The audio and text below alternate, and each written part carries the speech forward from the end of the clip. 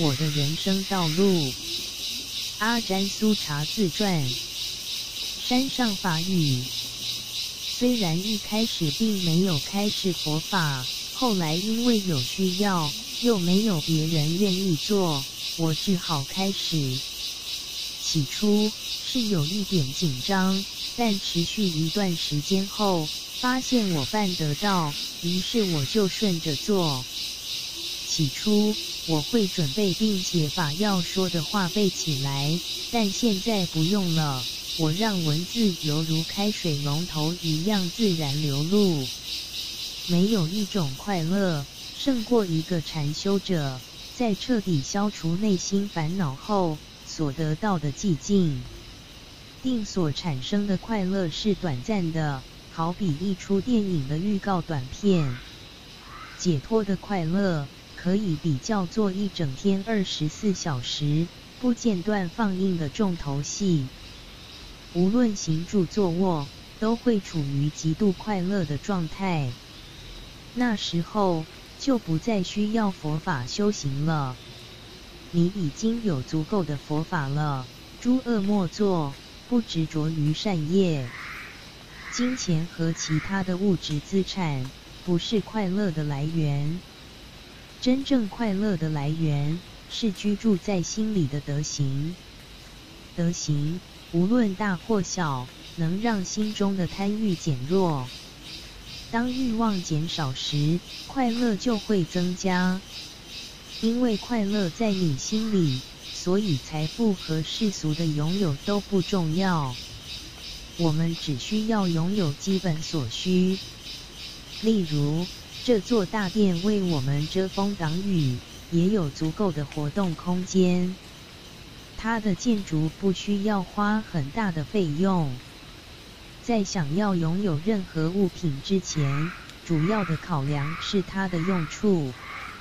价钱不应该是主要的考虑。如果便宜的物品和较贵的物品同样适合使用，我们应该选较便宜的物品，做个好榜样。我们不需要花多余的时间和精力筹钱建造同一用途但价格较高的选择。选择食物也是一样的。一顿五十泰铢的饭和一顿五百泰铢的饭同样能让你吃饱。在饭店吃或在寺院里吃也同样会吃得饱。两种经验始终都会过去的。省下为了吃昂贵餐饮赚钱的时间，把它花在利益社会或宗教会比较恰当。要为了行善而行善，诚心行善或布施，不要期望任何人给予回报。要以慈心布施，学习放下，不要执着于物品、产业或金钱。拥有比必要的更多对你没有益处。相反的，因为害怕遗失它，或害怕它被盗取而产生烦恼，把它当作布施奉献出去，不只会解决问题，你也会因为帮助其他人而感到快乐。这是行善、做布施的用意。现今社会所看到的茫然。是因为人们心中缺少了宗教，在寺院或其他的东西上，虽然可以看到宗教的存在，但人们的心中没有宗教，他们的心中装满烦恼和欲望，即使到了寺院，也互相争吵相骂。如果想到寺院去，就必须带着善意和平静。要怀着不给别人惹事的态度，到寺院的最终目的是修佛法，透过禅修改进自己，并持守戒律。不要在乎别人的观点或意见。当一只小老鼠好过当一只大狮子。大狮子可能会碰上恶斗，小老鼠却不会遇到问题。这样才有时间禅修。单靠阅读佛法，而没有导师的自行修习会是艰难的。这是因为被欲望吸引，被鱼池绑住。例如，虽然还是在家人，有可能以为自己已经觉悟解脱了。你以为不侵犯别人，没有贪念，没有欲望，已经到达觉悟了。你不知道，身为在家人，依然被视觉、听觉、味觉、嗅觉和触觉缠绕着。如果你到森林里过着出家人的生活，你会跟在家里生活感觉一样吗？你会不会感到平静祥和呢？如果你没有经历过，你就不会分辨。想要知道，唯有去试探。比如说，你想要试探自己的恐惧还存在吗？你可能因为处在一个没有危险的地方，所以不感到害怕。如果在森林里，四处危险包围，你还会依然平静吗？如果没有在不同的状况下试探自己，可能还被鱼吃迷惑着。针对内心的烦恼。我们要采取主动狠狠攻击，不要等到敌人发动攻势才动手。要是让烦恼先动手，我们将面对会失败的危险。烦恼一旦发动攻势，便会掩盖我们，让我们无能为力。到时候，烦恼所欲求的，如食物和饮料，我们唯有双手奉上。要采取主动，便要规定一天对于饮食的限制。例如，一天只吃一餐，无论想吃任何食物，都限制在这唯一的一餐完成。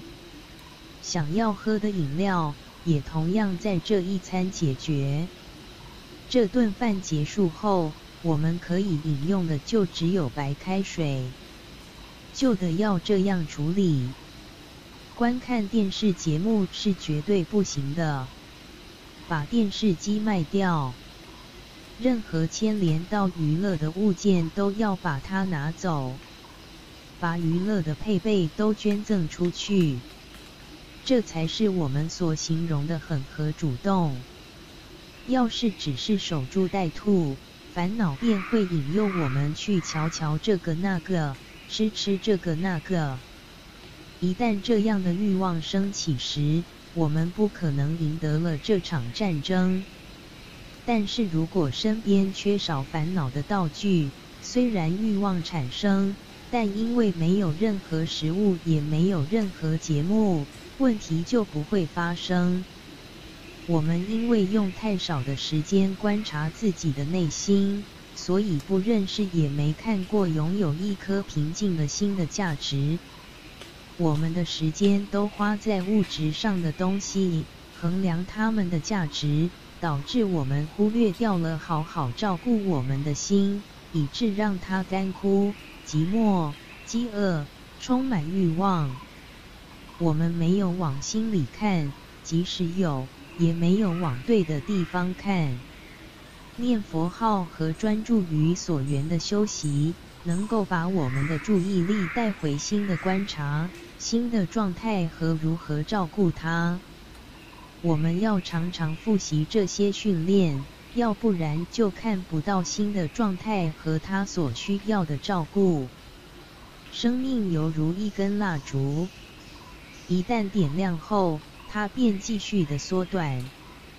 随着你老化，你的生命也一天天减少，岁数一边增加，寿命一边减少。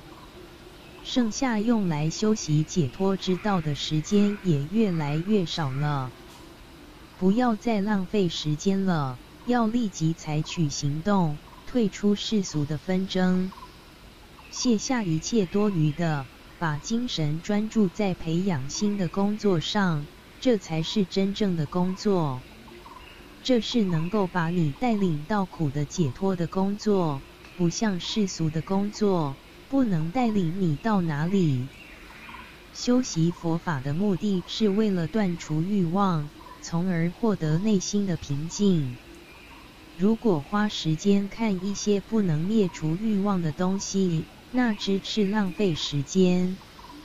例如太阳和树木，它们对你没有什么用处，由于它们不是带给你烦恼的东西。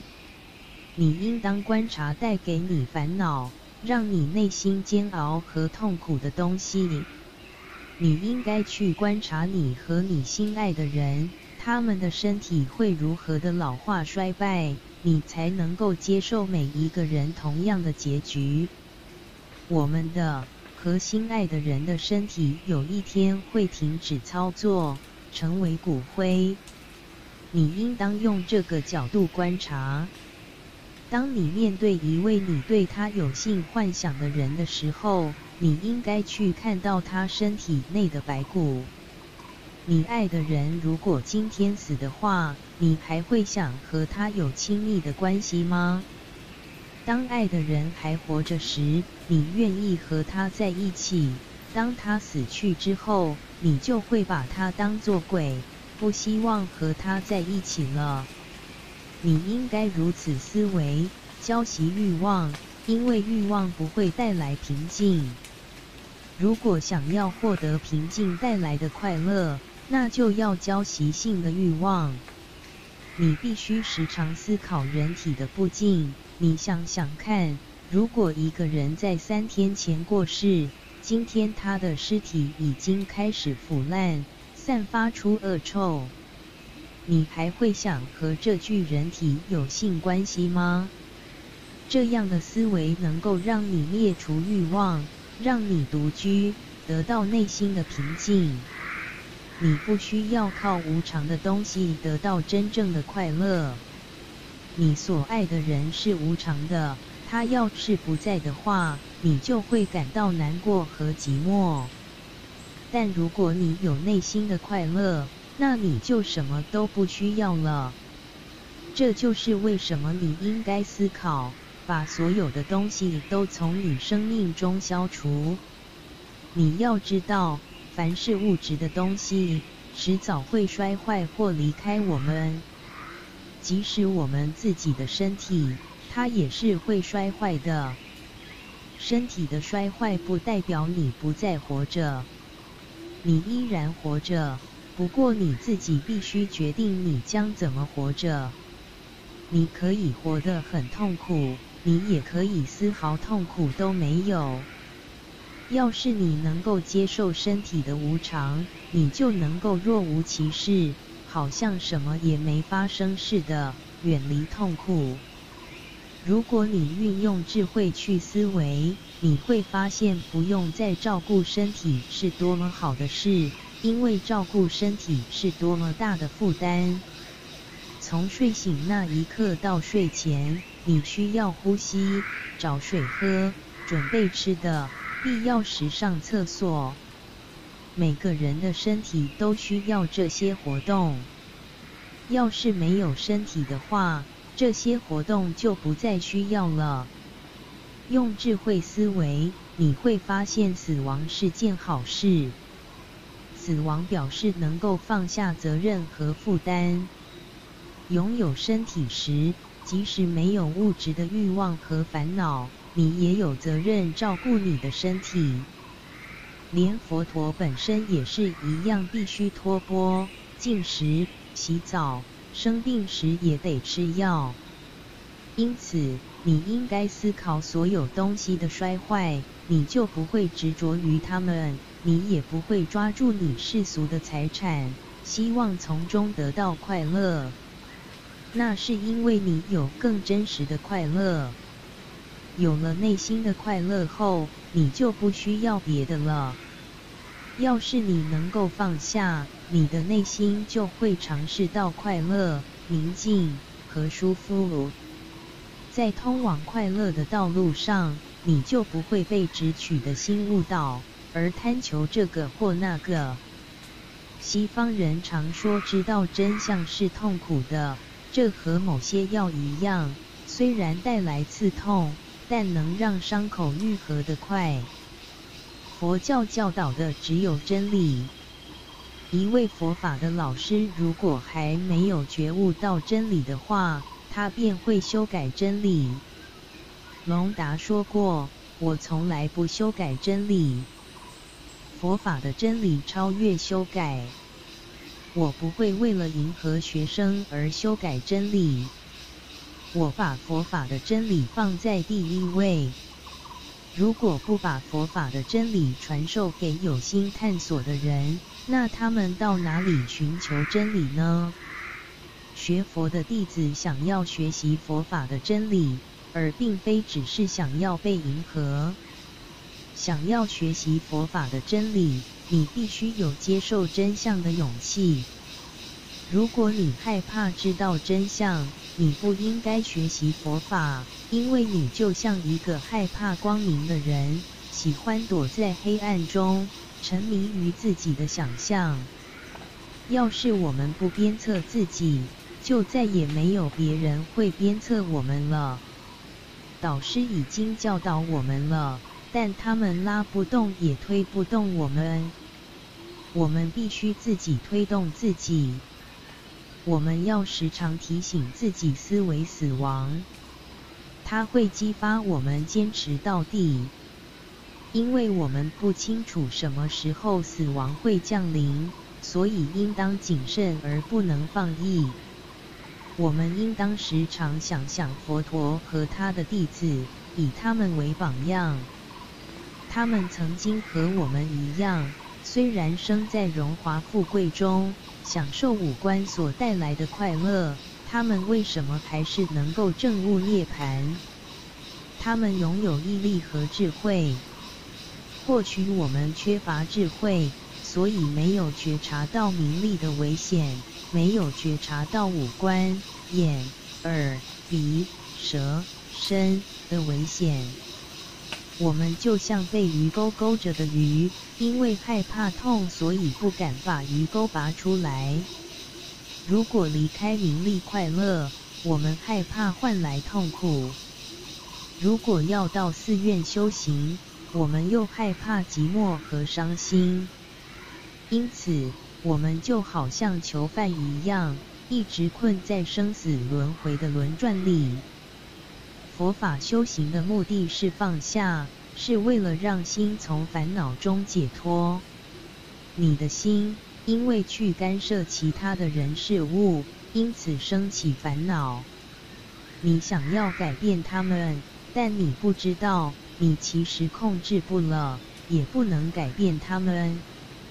因为他们是非我的，佛陀说，诸法非我，包括人类在内，一切的现象都有它自然的法则，没有一个我。你不能命令他们应该这样或那样子。你要是想要恒久的快乐，你要把世间所有的都放下。要是你不这样做，他们会让你痛苦。什么让你痛苦？其实世间所有的一切，包括你的身体，都让你痛苦。你的身体是一堆苦。同样的，你的伴侣、孩子、孙子的身体，还有你拥有的一切，凡是五官辨识的，都是苦。你不知不觉的和这些累积的苦生活。没有佛陀的教导。你就永远不知道真相，将永远与这团团的苦牵连着。当你死的时候，你又必须轮回，重新面对这轮转的苦。如果你学习并修习佛法，你会平静、快乐，因为你会发现苦的根源是对事物的执取。你会运用念住、定。和智慧把直取放下，你会放下喜欢的和不喜欢的。当你能放下所有的时候，你的任务就完成了。